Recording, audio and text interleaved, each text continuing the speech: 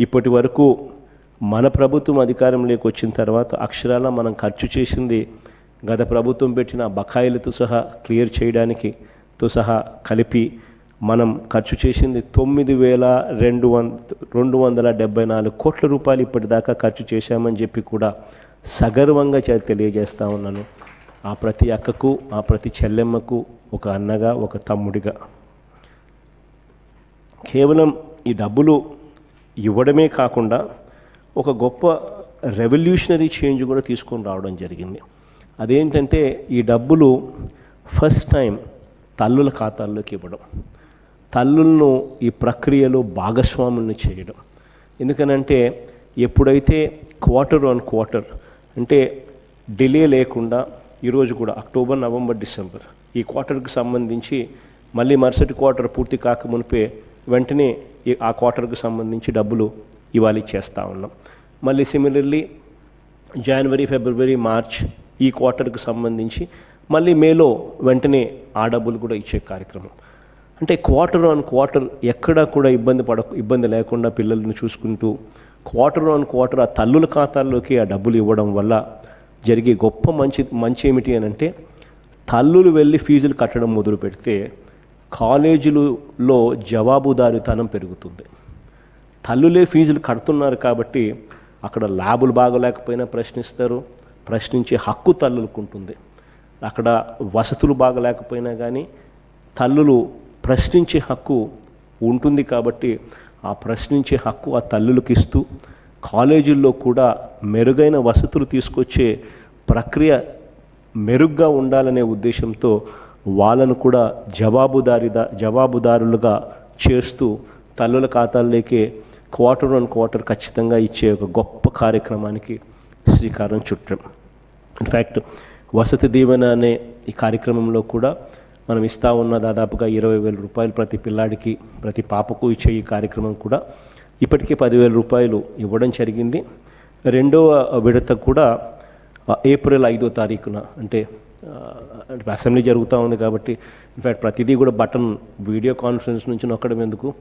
Assembly అయిపోయిన తర్వాత ప్రజల్లోకి వెళ్ళి ఏదో ఒక చోట నొక్కాలా అన్న ఉద్దేశంతో ఏప్రిల్ ఐదో తారీఖున ఆ కార్యక్రమానికి పెట్టుకున్నాం. వసతి దీవెనకు సంబంధించి ఆ రోజు బటన్ నొక్కి ఆ రెండో విడత కూడా వసతి దీవెనకు సంబంధించిన రెండో విడత కూడా నేరుగా తల్లుల ఖాతాల్లోకే వేయడం జరుగుతుంది. ఇంకొక గొప్ప కార్యక్ర గొప్ప ఆలోచన కూడా ఇందులో జరిగింది ఏమిటి అని అంటే దర్ ఇస్ నో లిమిట్ తల్లులు ఎంతమంది పిల్లలు ఉంటే అంతమంది పిల్లల్ని చదివించండి.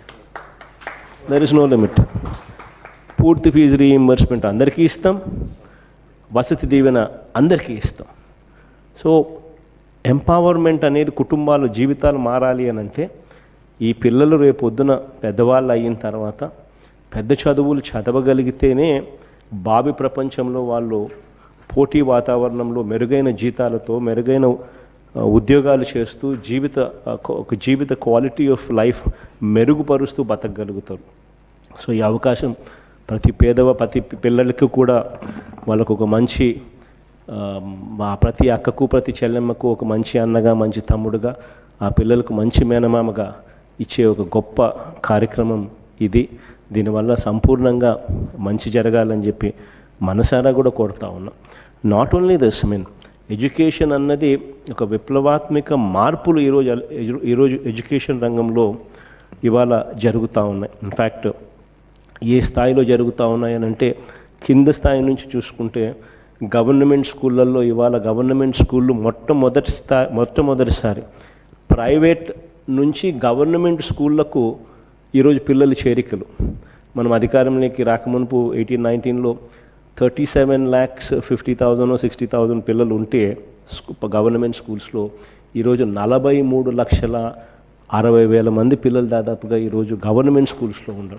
అంటే ఆరున్నర లక్షల మంది పిల్లలు ప్రైవేట్ నుంచి గవర్నమెంట్ బడులలోకి చేరే పరిస్థితి వస్తూ ఉంది.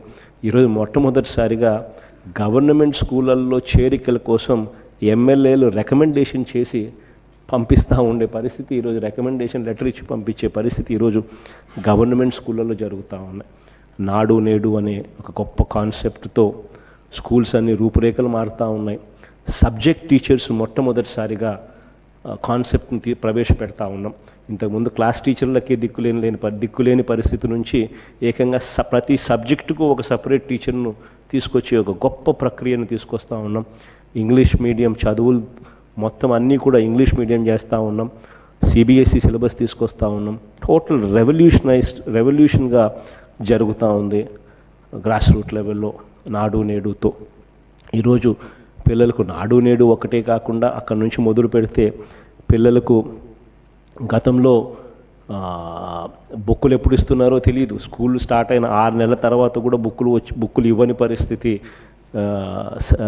పరిస్థితి నుంచి యూనిఫామ్లు ఇవ్వని పరిస్థితి నుంచి ఈరోజు స్కూళ్ళు మొదలయ్యే టయానికే పిల్లలకి అందరికీ కూడా చక్కగా జగనన్న విద్యా కానుక అని చెప్పి పేరుతో మూడు జతల బట్టలు school bag bilingual text books మొట్టమొదటిసారిగా you have text books where ఒక పేజ్ ఇంగ్లీషు ఒక page Telugu.